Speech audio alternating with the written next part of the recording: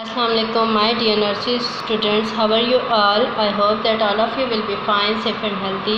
Students it's your maths class. Kindly take out your book of my activity book of numbers and shapes. It's your activity book. Kindly take out and open it. Students take out page number 12 page number 12 kindly take out page number 12 as you know that we have read number 5 yesterday. So today we are going to do an activity related to number 5 number hunt okay? Identify and circle number 5 here are some jumbled numbers. You have to search the number 5 and then you will circle it okay?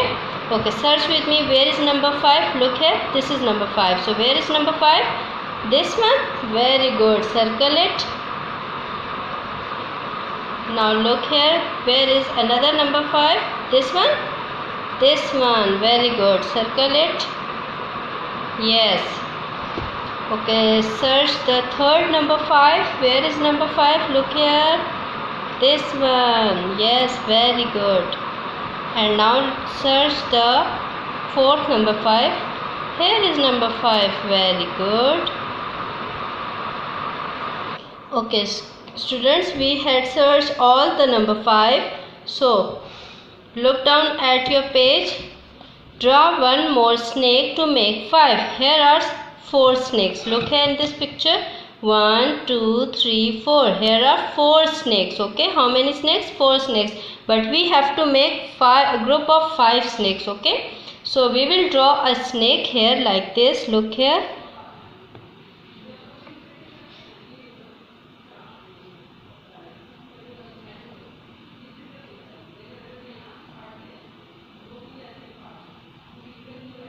look here students.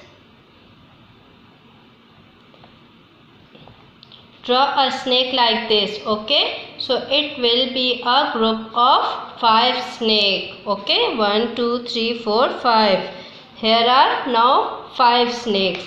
Okay students do this page just like me. Take care. Allah hafiz